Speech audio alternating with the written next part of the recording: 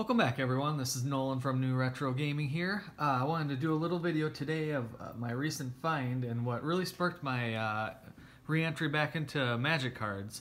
So I started collecting uh, cards in 96 I believe, 1996. I was either 6 or 7 years old when I bought my first Magic card and back in those days uh, there weren't a lot of cards around so you could find them pretty cheap and I remember uh, going to the local game stores, comic shops in my hometown, and you could find most bulk commons for five cents, a lot of uncommons for five cents. Um, I remember buying cards like Aladdin's ring and um, Aladdin's lamp and some of those uh, Arabian Nights cards for under a dollar. And just seeing the prices these days has been just crazy to think uh, the appreciation on those old cards. So um, I stopped collecting, oh, probably 2002, and then for a brief period from about 2006 to 2008, I was collecting again. But I haven't bought any cards up until a couple weeks ago. Um, so I found my old collection. I just kind of wanted to show you the highlights of them. There's quite a few cards. Um, I found about 5,000 bulk cards that um, I'm not going to go through individually, but found a buyer for about half of this stuff, and the other half I'm going to hold on to just because of uh, the nostalgia, and you know, it's just too hard to find these cards these days. So uh, I'm going to add them to my collection. So I'm going to start with, uh, I'll start with what I'm going to keep. So again, you know, back in the day, I remember um, quite a few Arabian Nights cards that I paid under a dollar for. One in particular that I remember is this Repentant Blacksmith from Arabian Nights. I remember paying 25 cents for this card. Um, and a couple weeks ago when I was going through and seeing what I had just tucked away in my house, I realized that this is a $22 card. And I kept these things in a sleeve and they look beautiful for being, you know, the 1995. So these are 25 year old cards and they look just amazing. And I have not one, not two, not three, but four of them just hang out. So even if I spent a, a dollar on them, I think I spent a quarter, but let's just say a dollar. I spent four dollars when I was younger for something that's now worth 88. So even with inflation, that's still a pretty good return for something that uh, was just kind of tucked away in my house. So really good find there. Um, another Arabian Nights card was this Abu Jafar, and I do remember paying a dollar for this one. Uh, actually, I was at Claremont Comics in Eau Claire, Wisconsin, in probably 1996, 1997, something like that. Um, yeah, got a new card there. Um, another set that I was collecting uh, from 2006 to 2008 was just buying a ton of booster boxes of Saviors of Kamigawa. At the time, it was kind of considered a junk set. I remember paying $50 most for a booster box, and I bought several of those. Um, and at the time, I, I sold off what I thought was, you know, valuable. I think I pretty much broke even on those. And the rest I had tucked away in um, repacks that I did. I showed you in a previous video um, kind of what the repack looked like, um, where I bundled 15 cards, and just to give people a chance to to you know, pay a dollar or whatever it was to get some some cool cards. Um, I found about 60 of those a couple weeks ago, and I went through them each individually and just realized the hundreds and hundreds of dollars of cards that were in those that uh, have since come around, and just wanted to show you a few of those. So this is a, a foil Sakura Tribe Scout. It's a common. Um, I'll show you how many of the common version I have of that card. That's a two two dollar and twenty five cent card, but the foil here is worth about forty dollars.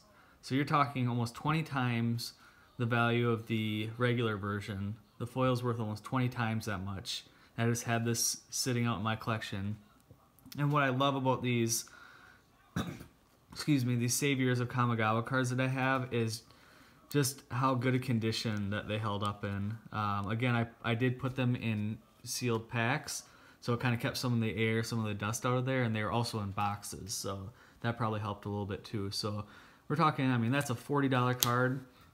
I looked up at the price history of this card, And at the time, it was um, in 2006, 2007. This was going for like a dollar two at the max. Um, this is the most expensive regular card in the set now. It's going for about 33 a piece, and I had two of them. So pretty cool there. This Michiko Konda Truth Seeker card. Again, all the ones I'm going to show you were mostly cards that were maybe a couple dollars back in the mid 2000s. Um, this is a $17 card now, and I have two that I'm keeping and one that is um, being sold to a friend that collects cards. Is Oboro Palace in the Clouds. Um, this one was has always been a little bit more expensive, but I did not realize that I was sitting on four of them. I have three here. Again, I'm selling one um, to that friend. Same with Miren the Moaning Well. This is, uh, I think uh, it was around $10. Um, had two of those.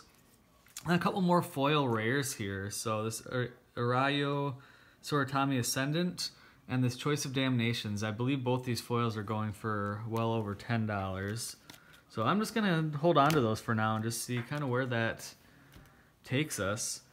Um, and then again, kind of going back to the the collecting in the 90s and how cheap you could find cards. I remember finding all these Legends cards, and you know these aren't worth too much right now, even being 25 years old.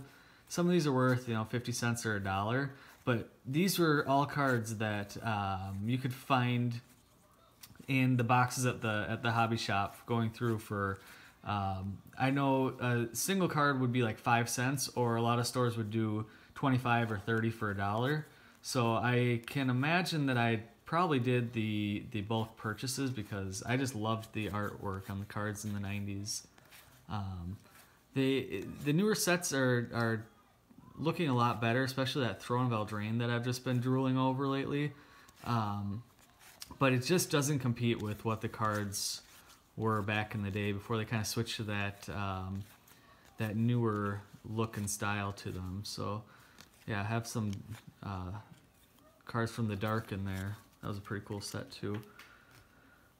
So most of those I'm hanging on to. What I am getting rid of, um, hope, and I'm hoping my friend I'm selling these to can get a pretty decent return on these.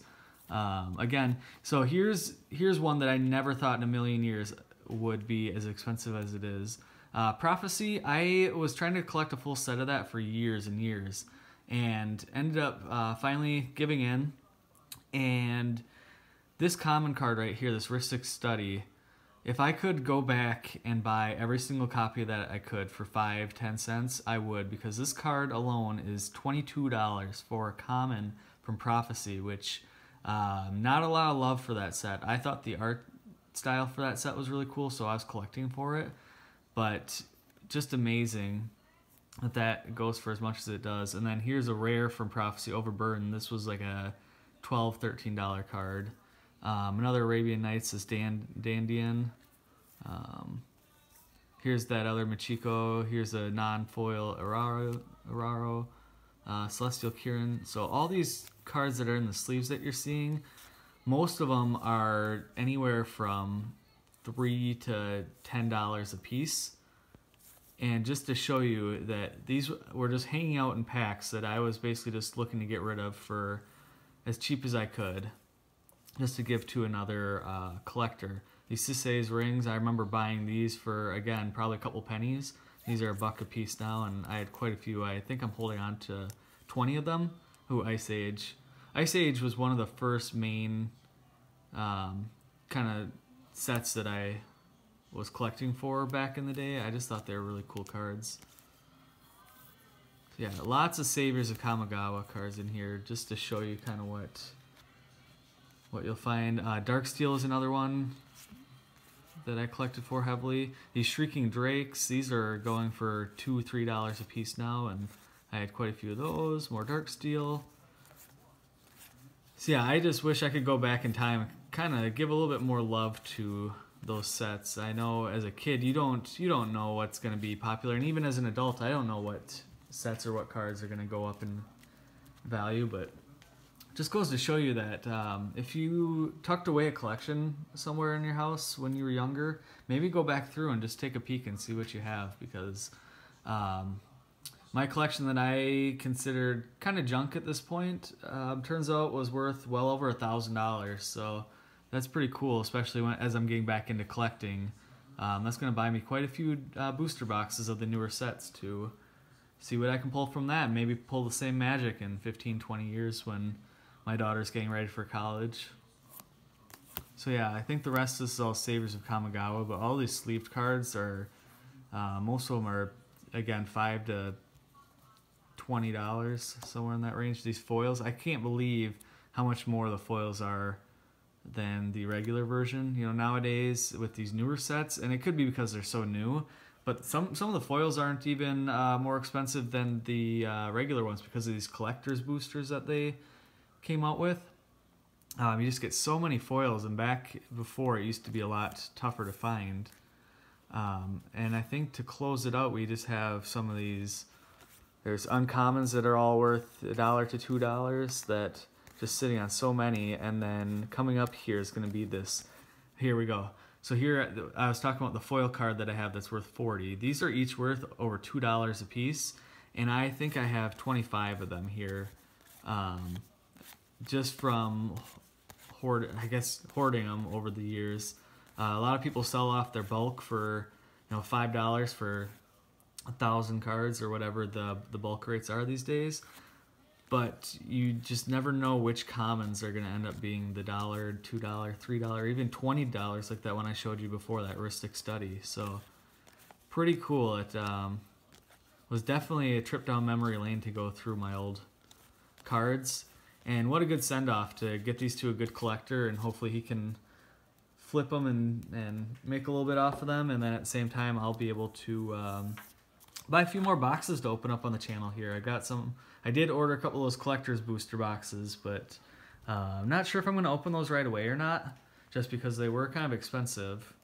Um, and then last, last highlight, it's non-magic related, but I found old Yu-Gi-Oh cards in that same uh, folder and most of them are just worth you know buck for these sleeved ones buck a piece which is still pretty good.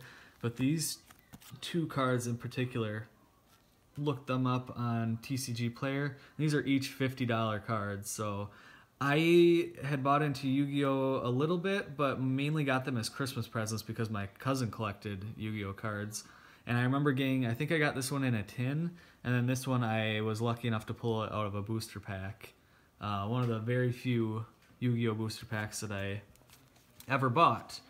Um, and just to see like how crazy expensive these are because these were the first sets of the of the whole game and that's another game that still continues but um, due to time and trying not to spend too much on my hobbies I am not going to collect any Yu-Gi-Oh going forward so I hope you guys enjoyed that video uh, for me it was more just uh, kind of log what I what I used to own at some point. Um, learning more and more what the what the value with recording and filming different things can be.